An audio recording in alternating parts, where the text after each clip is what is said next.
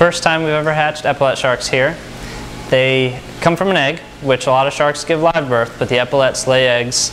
And in our case, 130 days later, they were ready to come out.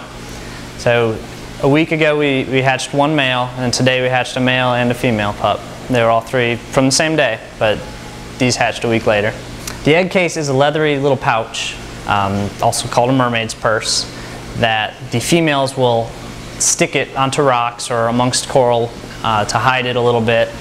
Many fish like to eat them, so they, they kind of hide them, they blend in well, they're camouflaged.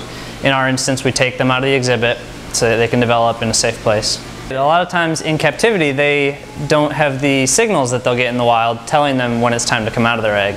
So through candling and peeking through the open end of the egg, we were able to know that they were ready before they did. So we let them out and they're fat and looking good and ready to go. They're going to hunt on their own and, and find food to eat. They'll eat you know, worms and crabs and small fish. They're known as the walking shark because they often walk on their fins. If there's a threat or they need to go somewhere in a hurry, they will swim, but generally they get around walking on their fins. In Australia, they're, they're fairly prevalent. Uh, they're not really threatened. Um, we just you know, wanted to have them reproducing in captivity anytime you can have a captive bred animal instead of taking one out of the wild is definitely a good thing.